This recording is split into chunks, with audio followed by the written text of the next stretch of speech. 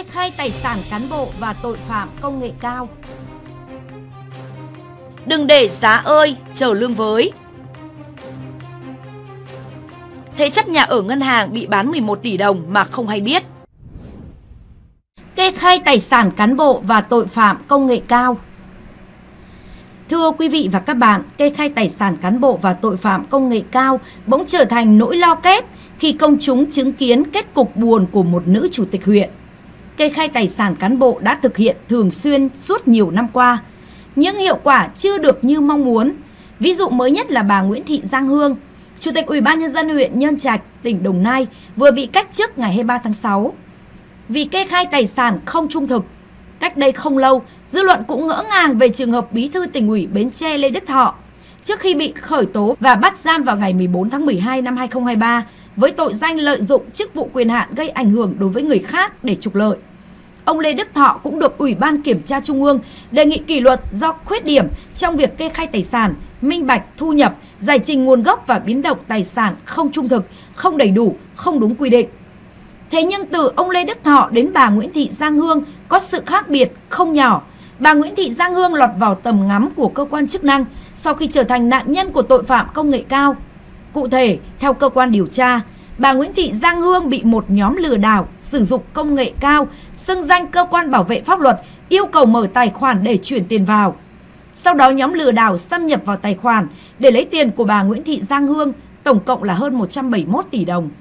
Câu hỏi đặt ra, nếu bà Nguyễn Thị Giang Hương ngậm bồ hòn làm ngọt không trình báo sự việc thì có thể phát hiện dễ dàng một cán bộ thiếu trung thực trong việc kê khai tài sản không? Chắc chắn là không.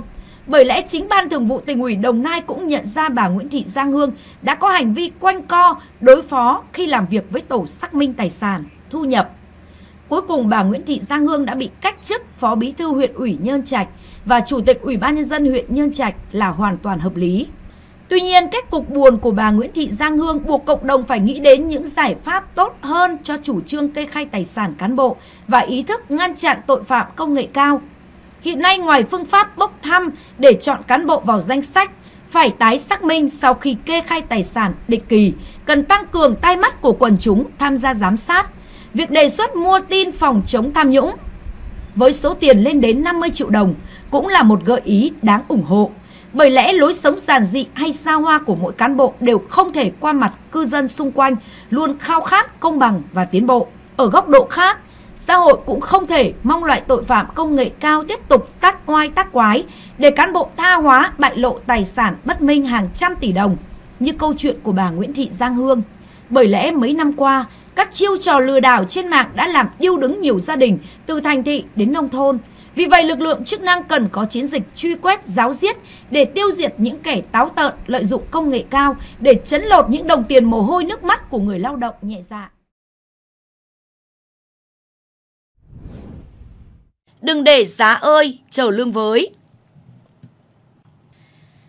Thưa quý vị và các bạn, mức lương cơ sở tăng 30% và một số điều chỉnh mới trong chính sách tiền lương được áp dụng từ ngày 1 tháng 7 tới đây đang đem lại niềm vui lớn đối với nhiều người nhưng kèm theo đó là nỗi lo tăng giá. Thực tế mấy ngày qua một số mặt hàng thiết yếu đã dục dịch tăng giá nhẹ. Có người còn lo ngại rằng nếu không quản lý tốt về giá cả, thì rất có thể vận động viên giá sẽ chạy quá nhanh so với vận động viên lương. Và câu nói quen thuộc, giá ơi trở lương với cách đây vài chục năm trước sẽ lặp lại. Việc té nước theo lương cũng đang là vấn đề nóng tại diễn đàn Quốc hội. Nhiều đại biểu Quốc hội đã đề xuất các giải pháp để khắc phục tình trạng này. Thực ra đối tượng tăng lương lần này không nhiều lắm bởi theo số lượng thống kê, vào cuối năm 2023, cả nước có khoảng 2,78 triệu cán bộ công chức, viên chức, không bao gồm lực lượng vũ trang được tăng lương. Bên cạnh đó có gần 3,4 triệu người hưởng lương hưu, trợ cấp bảo hiểm xã hội hàng tháng từ quỹ bảo hiểm xã hội và 1,8 triệu người hưởng trợ cấp hưu trí xã hội từ ngân sách nhà nước. Như vậy, số lượng cán bộ hưởng lương ngân sách chỉ chiếm vài phần trăm dân số, quy mô không lớn để tạo ra áp lực tăng giá thực sự. Vấn đề cốt lõi tạo ra áp lực giá cả tăng là do tâm lý và việc lợi dụng kẽ hở tăng lương để tăng giá bất hợp lý. Chính vì thế, theo ý kiến của nhiều đại biểu Quốc hội và chuyên gia kinh tế, giải pháp quan trọng cấp bách lúc này là các cơ quan quản lý nhà nước phải đẩy mạnh việc thanh tra giám sát để phát hiện kịp thời những trường hợp vi phạm luật cạnh tranh, liên kết tăng giá vô tội vạ, ảnh hưởng đến thị trường, trong đó kiểm tra yếu tố hình thành giá, không để tăng lương dẫn đến tình trạng tăng giá bất hợp lý, làm mất đi ý nghĩa việc tăng lương, gây ảnh hưởng đời sống người lao động. Nhất là phải kiểm tra kiểm soát, đặc biệt với các mặt hàng lương thực, thực phẩm, thiết yếu, niêm yết giá tại các chợ truyền thống, kiên quyết xử lý nghiêm các hành vi vi phạm pháp luật về giá. Nhằm bảo đảm ý nghĩa chính sách tăng lương từ mùng 1 tháng 7, cuối tuần qua Thủ tướng Chính phủ Phạm Minh Chính đã ký ban hành công điện số 61 gửi Bộ trưởng, Thủ trưởng cơ quan ngang bộ, cơ quan thuộc chính phủ, Chủ tịch Ủy ban nhân dân các tỉnh thành phố trực thuộc trung ương về việc tăng cường các biện pháp quản lý điều hành giá. Theo đó, Thủ tướng yêu cầu các bộ theo chức năng nhiệm vụ được giao khẩn trương giả soát báo cáo đề xuất cụ thể lộ trình gắn với mức độ và dự kiến thời điểm thực hiện điều chỉnh giá các mặt hàng dịch vụ thuộc lĩnh vực quản lý như dịch vụ khám bệnh, chữa bệnh, điện, dịch vụ giáo dục vân vân phối hợp chặt chẽ với Bộ Tài chính Tổng cục Thống kê và các cơ quan liên quan để đánh giá kỹ tác động đến chỉ số giá tiêu dùng và mục tiêu kịch bản kiểm soát lạm phát cụ thể, báo cáo Thủ tướng Chính phủ trước ngày 30 tháng 6 năm 2024. Thủ tướng cũng giao Bộ Tài chính chủ trì phối hợp với Bộ Kế hoạch và Đầu tư Ngân hàng Nhà nước Việt Nam, Tổng cục Thống kê các cơ quan địa phương liên quan đẩy mạnh triển khai công tác tổng hợp, phân tích dự báo giá thị trường, cập nhật kịch bản điều hành giá chi tiết, cụ thể kịp thời cho các tháng còn lại trong năm để tham mưu cho chính phủ, Thủ tướng Chính phủ các biện pháp phù hợp, kịp thời bảo đảm mục tiêu kiểm soát lạm phát năm 2024 theo đúng nghị quyết của Quốc hội. Cùng với việc kiểm soát giá cả, Thủ tướng yêu cầu các bộ ngành địa phương không để xảy ra tình trạng thiếu hàng, gián đoạn nguồn hàng, gây tăng giá đột biến như với mặt hàng xăng dầu, lương thực thực phẩm, vật liệu xây dựng.